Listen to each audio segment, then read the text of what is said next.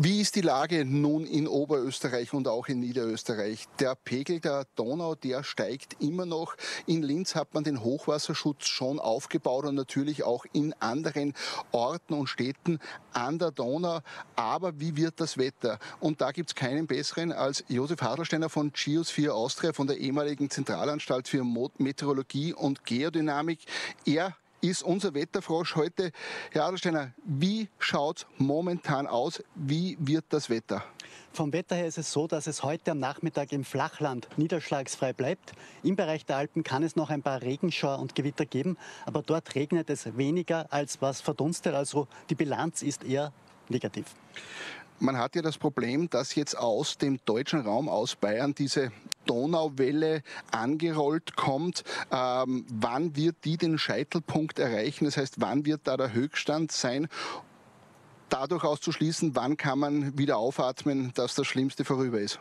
Ja, der Höchststand wird nach den Modellberechnungen heute am Nachmittag sein. Ab dem Abend sollen die Pegel dann wieder zurückgehen. Das heißt, morgen in der Früh wird man schon sehen, dass das Schlimmste überstanden ist.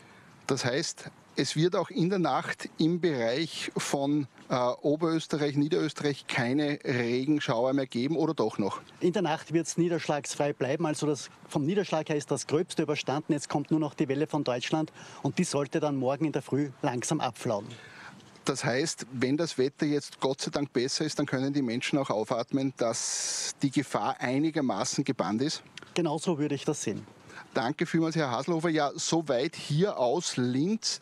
Äh, wir hoffen natürlich, dass diese Wetterprognosen auch wirklich eintreffen und dass das Wetter sich beruhigt, dass der Regen weniger wird und die Leute dann aufatmen können und dann in Ruhe äh, zusammenräumen können äh, die Schäden, die es gibt, reparieren können und natürlich hoffen, dass das Grundwasser auch schnell weggeht, denn in vielen Häusern und Kellern ist auch das Grundwasser ein großes Problem. Die Wiesen und Felder sind gesättigt und dadurch steigt auch das Grundwasser und wenn man Grundwasser in den Häusern hat, in den Kellern hat, dann bekommt man das nicht mehr raus, denn das rennt immer noch nach, da kann man pumpen, so viel man will.